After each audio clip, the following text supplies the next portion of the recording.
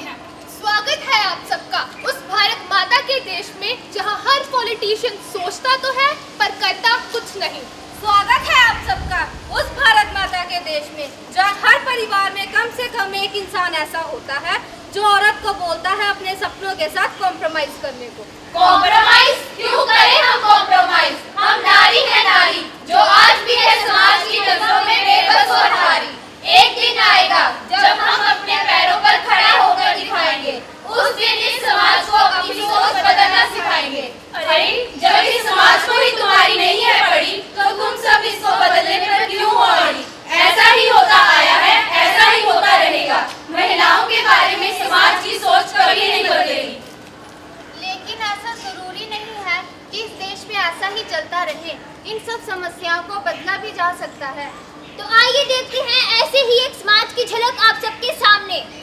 माँ मुझे पैसे चाहिए। माँ मुझे भी पैसे चाहिए। पैसे? तुझे क्यों चाहिए पैसे?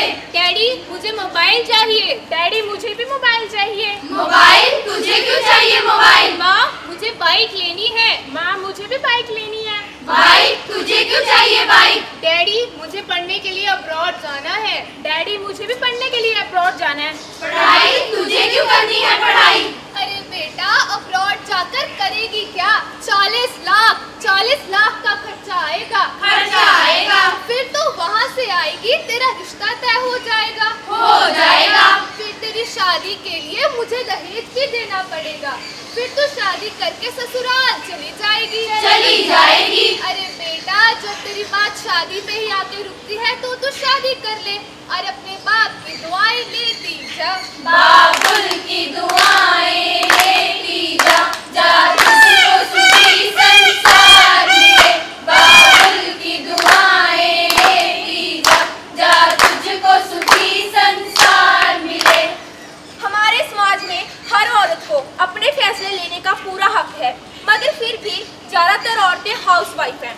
अपनी मर्ज़ी से नहीं अब दूसरों के दबाव में आकर आप जैसे लोगों के दबाव में आकर क्योंकि घर के खुद कहते हैं कि बेटा थोड़ा कॉम्प्रोमाइज कर लो।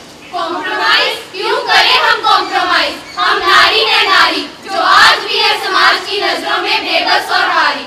एक दिन आएगा जब हम अपने पैरों पर खड़ा होकर दिखाएँगे। उस दिन इस समाज को अपनी सोच बदलना सिखाएँगे। अरे मनहूस तुझे मेरे ही घर पैदा होना था आज तो तुझसे छुटकारा पाकर ही रहूँगा। अरे बच्ची खड्डे में गिर गई। अजी सुनते हो बच्ची खड्डे में गिर गई। मैं हूँ नितिका और आप देख रहे हैं आज तक न्यूज़। चलिए बात करते हैं उस पिता से और जानते हैं कि वो कैसा महसूस कर रहे हैं।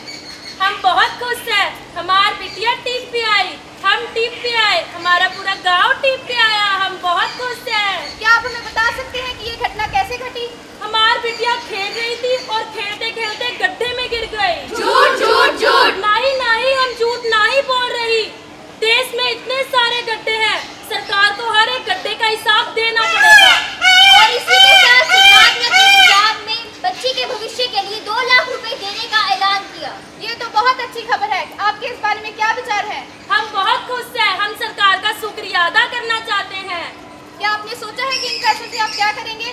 हम इन पैसों को अपनी खेती बाड़ी में लगाएँगे। और बच्ची के भविष्य का क्या? बच्ची के भविष्य का क्या? खेती बाड़ी होगी तभी तो बच्ची का भविष्य होगा ना? और उसने पढ़ लिख कर भी करना भी क्या है एक दिन अपने ससुराल चली ही जाएगी अठारह अठारह साल बाद पापा पापा मेरी कॉलेज में एडमिशन करवा दो कॉलेज क्या करेगी कॉलेज जाकर अब तो तेरी शादी की उम्र हो गई है नहीं पापा मुझे शादी नहीं करनी मुझे पढ़ना है क्या करेगी पढ़ाई करके घर घर का काम काज सीख इतने बड़े बड़े सपने देखे थे। सोचा था कॉलेज जाकर पढ़ लिख कर अपने माँ बाप का नाम रोशन करूँगी। पर पर मेरा ये लड़की होना ही गुनाह है। बेटा अब रोने से कुछ नहीं होगा। तेरे पापा ने तेरा हिस्सा तय कर दिया है। अब ये केएमवी कॉलेज मेरी किस्मत में कहा मुझे तो शादी ही करनी होगी। लड़के वाले। बेटा वो है लड़का। माँ मुझे शादी नहीं करनी। मुझे पढ़ना है। बेटा मैं इसमें कुछ नहीं कर सकती। जाके अपने पिता से बात कर। पापा मुझे ये शादी नहीं करनी। मुझे पढ़ना है। क्यों? क्यों नहीं कर सकती? पापा मुझे केवल तीन वर्ष का समय दीजिए। तीन वर्ष बाद जैसा आप कहोगे मैं वैसा ही करूँगी। तीन साल? अरे इसे भी तो मौका देके देखो। आजकल की लड़कियाँ लड़कों से कम थोड़ी ना है। चल देखता हूँ तू भी क्या कर लेती है। ज़िंदगी मेरी सो ख्वाहिशां एक मैं पूरी करा ओ एक ज़िंदगी मेरी सो ख्वाहिशां एक मैं पूरी करा तीन साल बाद। माँ माँ कहाँ हूँ माँ? माँ माँ मैं आ गई। माँ मैं आईएएस ऑफिसर बन गई हूँ। खुश तो हो ना माँ? हाँ बेटा मैं क्यों खुश नहीं होगी? तू रुक एक मिनट मैं अभी तेरे पापा को बुलाती हूँ। अजी सुनते हो? अरे क्यों चिल्ला रही हो? ऐसा क्या हो गया? हमारी बेटी आ गई। पापा मैं आ गई और जो बोला था वो करके दिखाया है। मैंने ये तीन साल अपने बर्बाद नहीं होने दिए हैं। देखा कहा था ना मैंने आपको लड़कियाँ लड़कों से कम नहीं होती।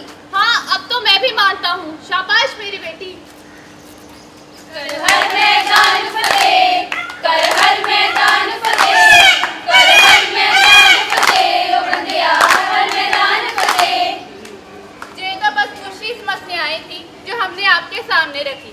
हमारे देश में तो औरत को जीने का भी हक नहीं। अरे वुमेन एम्पावरमेंट का मतलब ये नहीं कि औरतों को साहस दिया जाए।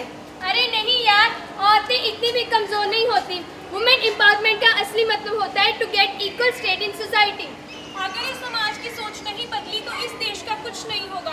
औरतों को कभी उनका अधिकार नहीं मिलेगा। जरा सोचिए और उनका साथ दीजिए। क्योंकि अगर आज आपने इनका साथ नहीं दिया तो जो होता आया है वही होता रहेगा।